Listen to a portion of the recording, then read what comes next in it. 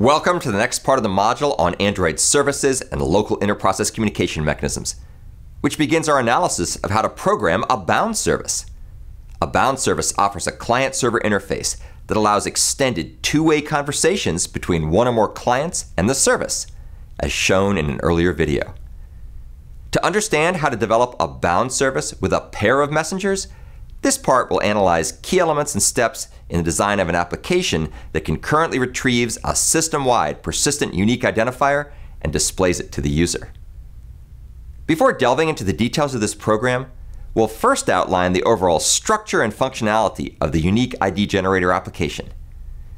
This application contains a Unique ID Generator activity that calls bind service on a Unique ID Generator service when Android calls its onStart lifecycle hook method. This service returns a reference to a messenger via its onBind factory method. The activity receives this reference via the onServiceConnected hook method and stores it in a local data member. When the user clicks the Generate Unique ID button, the activity uses the messenger reference to send a request message to the service. This message contains a reference to a reply messenger defined in the activity that the service uses to return the system-wide unique ID back to the activity. The service receives this message via a handle message hook method and enqueues the message in a background thread for subsequent processing. This background thread generates the unique ID and returns the result by calling send on the reply messenger reference. The activity then receives this reply message via a handle message hook method and displays the unique ID to the user. The source code for the unique ID generator application is available at this link, so download it and watch this video and the next one carefully, perhaps multiple times, to learn how it works. This example contains four primary classes, as well as various Android-bound service, concurrency, and communication mechanisms. So we'll progressively analyze the design and implementation from various perspectives to show how all the pieces work and fit together.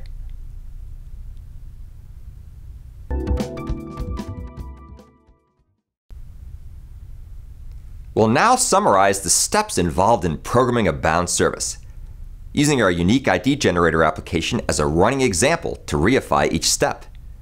In general, a client, typically an activity, launches a bound service by calling the bind service method to create a so-called persistent connection, as discussed here. For example, the unique ID generator activity uses a factory method to create an intent command that identifies the service to start, which in this case is the unique ID generator service. In addition to passing the intent to bind service, the client must also provide a service connection object that's used to monitor the connection with the service. Hook methods defined in the service connection object are automatically called back by Android's service framework when connections are established and lost, as shown here. In response to the bind service call, Android's Activity Manager service launches a service if it's not already running, using the activator pattern described here. The Activity Manager service starts the service asynchronously, so the bind service method does not block the client synchronously while the unique ID generator service is being launched and run. After the service is up and running, Android's service framework invokes the onCreate and onBind hook methods to perform initialization activities. It inherits these methods from the service superclass. The unique ID generator service's onCreate method initializes its data members, such as the messenger that handles requests for unique IDs, an object that stores these IDs persistently, and an executor that manages a pool of threads used to process client requests concurrently. Likewise, onBind returns an iBinder object that enables the client to communicate with the bound service. The object returned from onBind is typically initialized in the onCreate hook method or in a data member definition. For example, the unique ID generator service's onBind factory method calls getBinder to return the iBinder its request messenger uses to communicate with its associated request handler, as discussed here.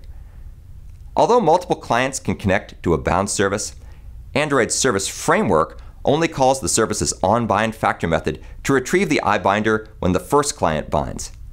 It caches this iBinder and redelivers it to any additional clients that bind without calling onBind again, as discussed here.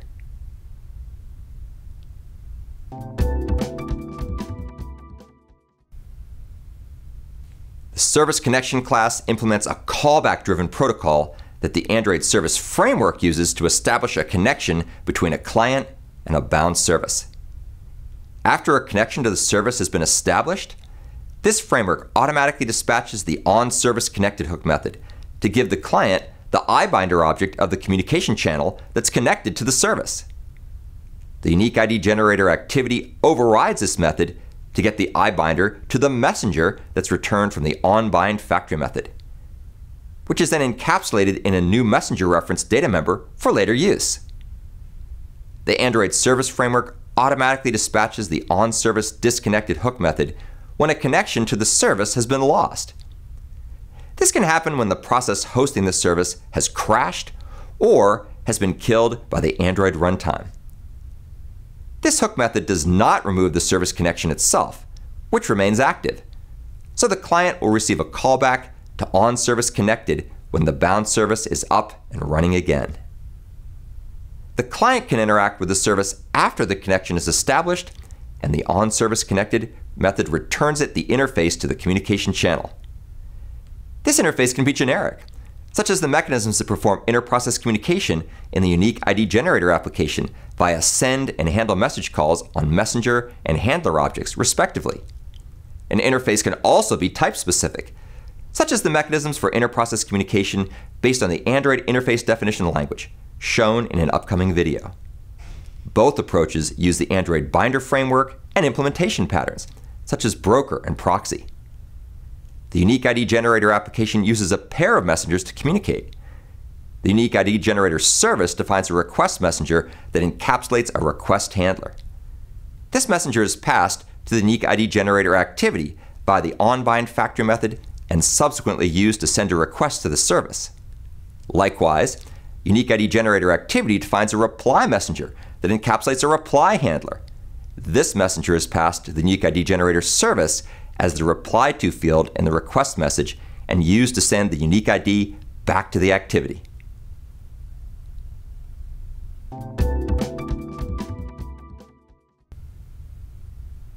When a bound service is launched, its lifecycle typically depends on the components accessing it. In particular, a bound service usually doesn't run in the background indefinitely, but instead is managed automatically by the Android Service Framework based on whether it's bound to any clients, as shown here. When a client is done interacting with a bound service, it calls unbind service, which informs the Android service framework that the client no longer wants to receive calls if the service is restarted. When all clients have unbound from a service, the Android service framework calls its on unbind hook method, which returns false by default, but can be programmed to return true if the service's on rebind hook method should be called later when new clients bind to it. On rebind is used when a service continues running after all its clients have unbound, which happens if a bound service is also a started service, which is an uncommon but supported use case, as discussed here. When a service is unbound from all clients, Android Service Framework dispatches its on destroy hook method unless it's also a started service. This hook method cleans up any resources that may have been allocated, such as shutting down the thread pool executor in the unique ID generator service. It's a good idea to call unbind service when an activity stops or when it's done interacting with a bound service, so the Android service framework can shut down the service when it's not being used. When a client activity is destroyed, Android automatically unbinds it from any bound services it's connected to.